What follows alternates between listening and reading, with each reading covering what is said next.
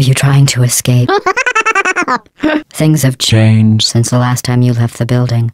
What's going on out there will make you wish you were back in here. I have an infinite capacity for knowledge, and even I'm not sure what's going on outside. All I know is I'm the only thing standing between us and them. Well, I was.